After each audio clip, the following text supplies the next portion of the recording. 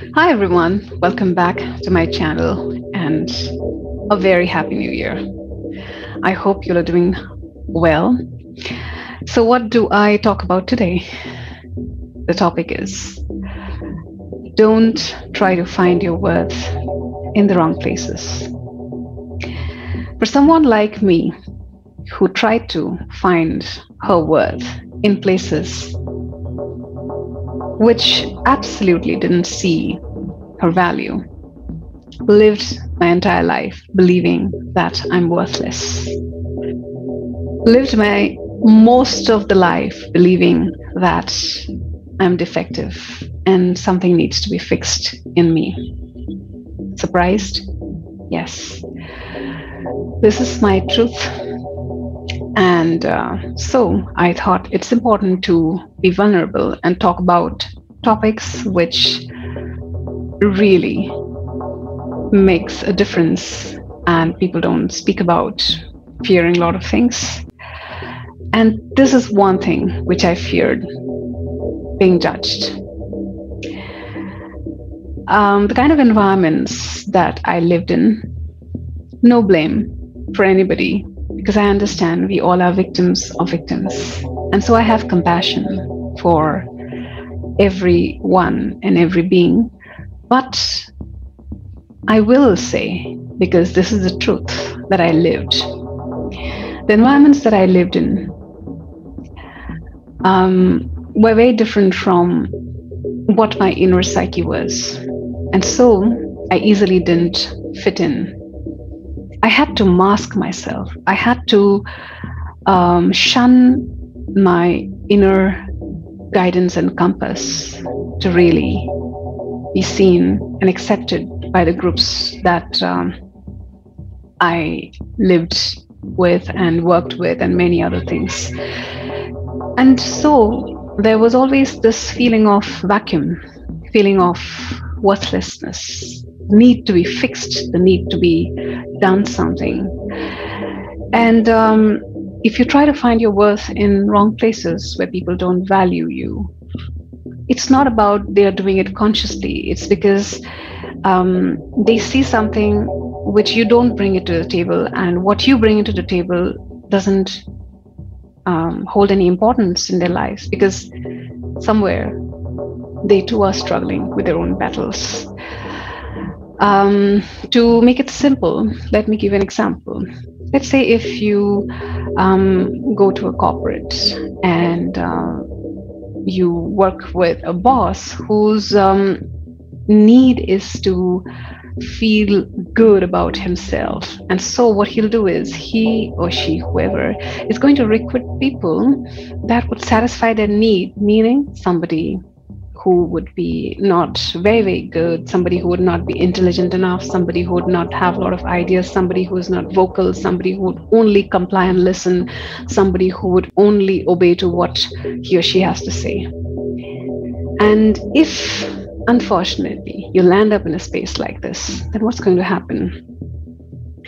That boss is never going to appreciate what you bring into a table. That boss is never going to promote you. That boss is never going to um, give you what you uh, really, really are good at. And um, that boss will never see you. And if you then are trying to find your worth in such a place, what will happen is you'll only get disappointment. You will never see that worth. You will never see uh, that gift, that worthlessness, um, sorry, the worth that you have in, in you, and you will only feel again something needs to be fixed in me. And so, what you're going to do is you'll forget about your gifts, the things that you're good at, and you're only going to do things which he would or she would want. And what will happen in a scenario like this? What do you think? You, will you be happy? Really? Not at all you will always feel a vacuum. You'll always feel as if you are overdoing. You'll be exhausted. You will be not motivated intrinsically to do something. It will be a battle. And the hindsight is the more you will try, the more you're going to fail because that's not who you are. And it will then reiterate your belief in you that you are defective and something needs to be fixed in you. So, if you're in a place like this where you feel that nobody really sees you, nobody really gets you, nobody really understands you, instead of trying to fit in, instead of trying to just mold yourself and believing that I'm worthless, change the place. Go and find people who would really see you for who you are, who would really value you for who you are. Remember, there is not a single person on this earth who doesn't have a unique gift to themselves. Everybody brings something valuable to this world. And our inability to see that doesn't mean that they're worthless. It is our inability to see and value that. So instead of wasting your time trying to fr- prove yourself in wrong places and trying to find your worth there, go and find your tribe. I wish I knew this long, long, long back. Mm-hmm. But probably it is said that one's calling is something where one has to first undergo the pain and then find from that pain evolve and then bring out a solution to that. And so this is my calling authentic living and supporting people to live authentically. And here, let me also give you a caveat because it's not enough in blaming only others. Somewhere, we also, for whatever reasons, we also accepted the fact that you're not good enough. And we also didn't listen to our inner voice, we numbed it. So, if you are in those environments where you feel unheard, where you feel nobody understands you, where you feel that um, you are the black sheep, the dark horse, or whatever, know that you're in the wrong place. And I'm not asking you to run away from those places, but just remember that if you're trying to find your worth in that place, you're not going to find that worth there. Your worth lies outside of that zone. Your worth, your true value would only be seen by those people who will really get you and who needs what you have to offer to the world.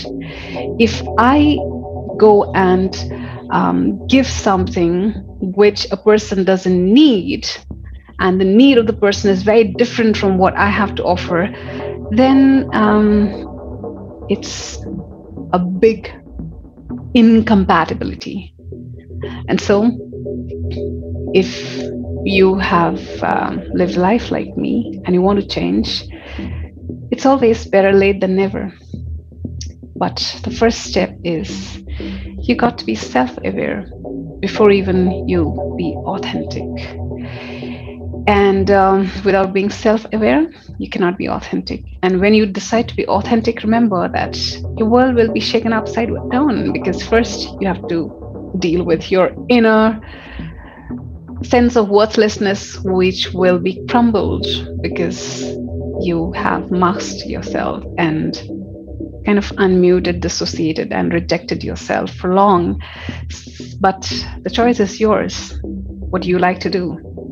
Would you like to um, mask it and be someone who you're not and feel a vacuum inside? Or you would stand up and embrace the discomfort, the struggle that you're in, and decide to be authentic so that you find that inner joy within that you have been looking outside all your life. Well, that's it I have for today with this um, insight. I would like to leave you. And if you like what I do say, don't forget to like, share, subscribe, and hit the notification bell. And until next, take care. of you all. Bye bye.